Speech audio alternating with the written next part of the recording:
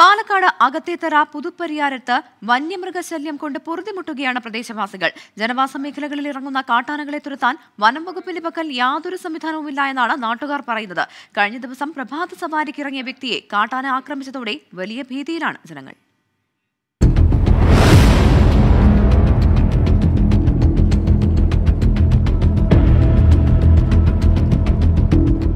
പ്രഭാത സവാരിക്കിറങ്ങിയ വയോധികനെ കാട്ടാന ചവിട്ടിക്കുന്നത് പൊതു റോഡിനോട് ചേർന്ന്.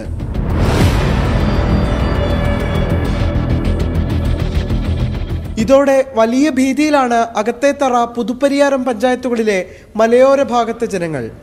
കൊല്ലപ്പെട്ട ശിവരാമനെ ആക്രമിച്ച ആന പലരുടെയും വീടിനകത്ത് വരെ കഴിഞ്ഞ ദിവസവും വന്നിരുന്നു. വാഴയും തെങ്ങും കൃഷിവിളകളുമൊക്കെ നശിപ്പിക്കുന്നത് പതിവ്. കുട്ടികളൊക്കെ ആയിട്ട് നമുക്ക് അതിന് പേടി. അതെ. അതിന്റെ സൗണ്ട് കേട്ടപ്പോ തന്നെ പിള്ളേർ ഒരേ കരച്ചിലായിരുന്നു.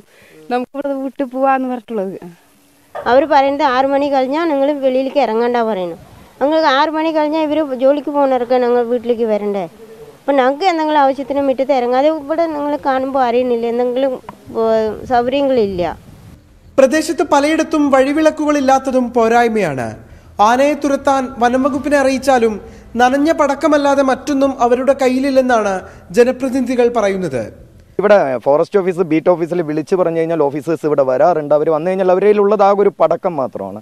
ഇതുപോലെ അപകടം പിടിച്ച അതായത് ആക്രമണകാരിയായ ഒരു ആന വരുമ്പോൾ അതിന് മുന്നിലേക്ക് പടക്കൂട്ട് കൊടുക്കുന്ന നനഞ്ഞൊരു പടക്കമാണ് ഇടുന്നത്. അപ്പോൾ അവർ ഈ കാട്ടിലേക്ക് കയറ്റിവിടുക എന്നുള്ള പരിപാടിയാണ് ഉദ്ദേശിക്കുന്നത്. പക്ഷേ ഇത്തരത്തിൽ ആക്രമണമുള്ള ആനയാണെങ്കിൽ അതെന്തായാലും കാട്ടിലേക്ക് കയറി പോവില്ല നിലവിൽ ശിവരാമനെ കൊന്ന കാട്ടാനയെ കാട് കയറ്റി വിട്ടതായി വനംവകുപ്പ് പറയുന്നുണ്ടെങ്കിലും പൂർണമായ വിശ്വാസം ഇക്കാര്യത്തിൽ പ്രദേശവാസികൾക്കില്ല. കേവല വാഗ്ദാനത്തിനപ്പുറം വന്യമൃഗശല്യത്തിന് ശാശ്വത പരിഹാരം വേണമെന്നാണ് പ്രദേശവാസികളുടെ ആവശ്യം.